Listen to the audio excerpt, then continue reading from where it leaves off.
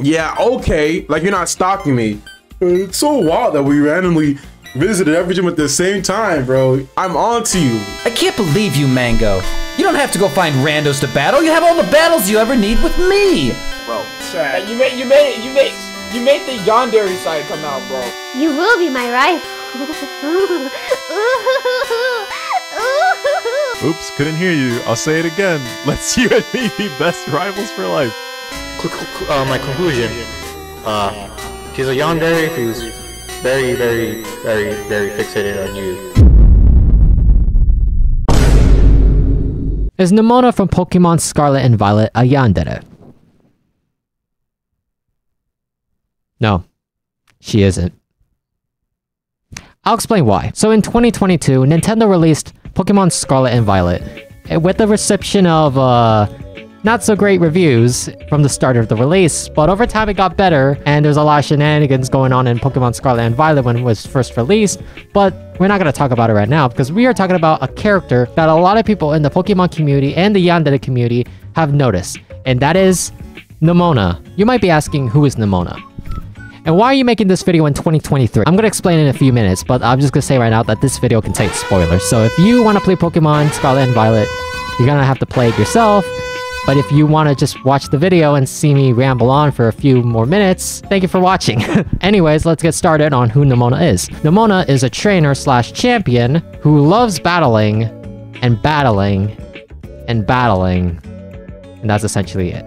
Nemona has a personality of being clingy towards the player, and she is shown to be very competitive. That's from what I know in the wiki of Poke in Pokemon Wiki, which is the reason why people keep calling her a Yandere, god damn it. So Nemona in the Pokemon series has been labeled as a Yandere, but I don't know if the person who's labeling Nemona knows what a Yandere is. And to anyone who's watching this video, you need to take off your Yandere glasses, and two, you need G. So let's get started on a Yandere.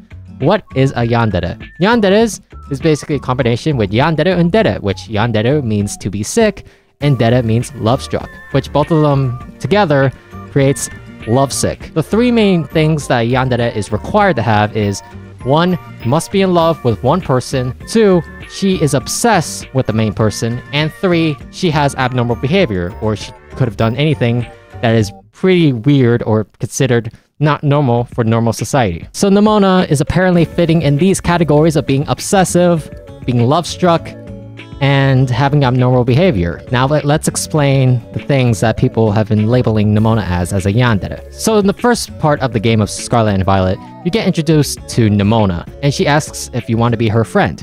If you said no, she feels like she, you know, scared you off, or she came in a little strong, and she needs your dick. but the problem is, that's not enough to be yandere. And she doesn't show any romantic interest at first. And she wasn't like, oh my gosh, look at this pretty trainer, this little tiny trainer that I want to... and she didn't get mad at the trainer, or you specifically, for not being friends with her. So she was a little sad. I mean, she didn't do anything horrific. I mean, she didn't come up to the trainer and start strangling him. The second example is when you battle with grunts. So you apparently had to battle two grunts in the game, and after you defeated them, Nemona shows up and says, What are you doing? You should have been battling with me. I'm the only person you should have battles with. But I think it's just her insecurity and it's just her being jealous. Because, no joke, any person can get jealous. Marin and Komi in the anime got jealous of their love interests talking to other people. I mean, I turned them into a yandere, but still, Nemona didn't show any sorts of love or anything towards the player, which a yandere is required to be in love. The third example is Nemona stalking you when you enter the gym, or she says, oh my gosh, it's a coincidence that we met up. Well, it might have just been a coincidence in the first place, and also, yanderes don't mean stalker. Yanderes don't have to be a stalker, and yanderes don't need to be violent. A yandere is required to be in love. The main theme of this video is love. The last example is when you meet up with Nemona and she asks if you are the champion. If you say no, she'll become persistent and asks if you are a champion to the point that it just sounds like she's a robot now. She will then explain that you are now in the same level as her and you both are now champions. And after that, she'll ask if you want to be rivals for life. For life. And if you say no, she will get angry and says, I didn't hear you. You are going to be my rival, right? You say no. She's like, okay, we're gonna be rivals, right? No. No, no, no, she will then start coming in and saying, you, me, rivals, like a robot. but it doesn't mean she is a yandere because she is persistent, yes, and this could have been classified as a yandere act. Even though there might be hints that you, she is interested in you, she doesn't show it throughout the story because because Pokemon doesn't have romance. That Serena and Ash anime sing you goddamn idiot. And she's not looking for any sort of relationship unless it's friends with benefits. But most importantly, she doesn't show any love or any hints that she's interested in the person, despite just being friends. Now let's explain Nemona's insecurities, because Nemona in the story is insecure, and she feels that she's been, you know, pushed down a lot. There is a video out there that explains Nemona's you know, attitude and why she's acting like this and why she's being a little persistent, which uh, it's a really good video and a very good explanation on Nemona's character. I'll put it right here, which it specifies that Nemona isn't obsessed with a person and isn't, oh my gosh, she's in love, just insecure and, and she just wants a friend. And people just slap the yandere label on Nemona without even thinking that she's a yandere because you gotta think, is she interested in me? Does she want to suck my dick? Well, listen up. Um, maybe yes, but uh, not in this game because it's E-rated for everyone. She's clingy. Yes. She's insecure. Yes. But she just wants a friend, and it and there's nothing wrong with that. Generally, and she's just insecure. I mean, other people have experienced this too, and they didn't classify them as yandere. So why is Nemona special? I have to stop this part of the recording because it was getting pretty late, and it was nighttime, and now it's the next day. So let's continue on from what I was saying, shall we?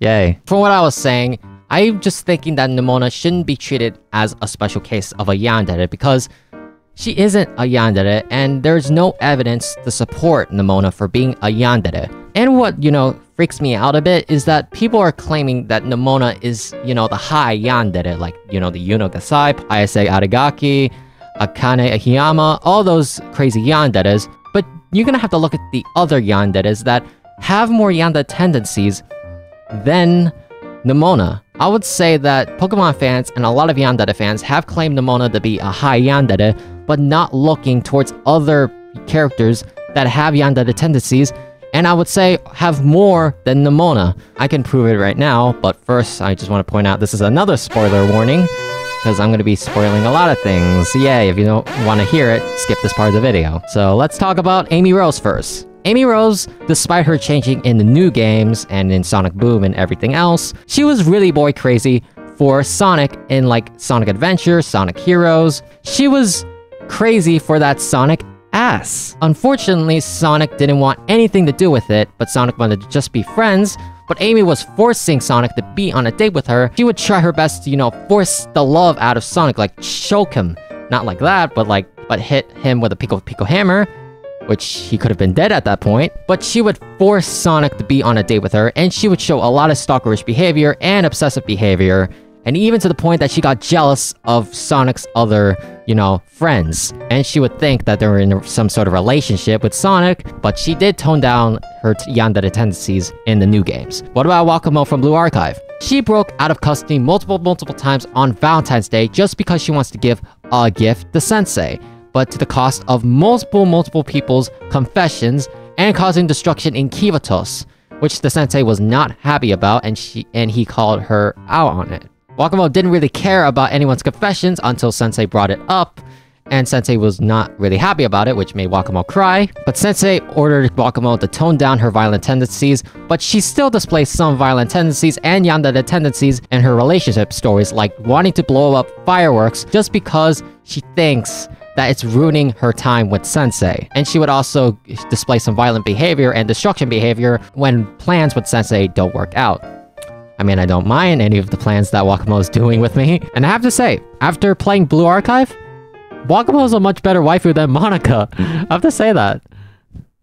so the last example I can use is Mizore from Rosario Vampire.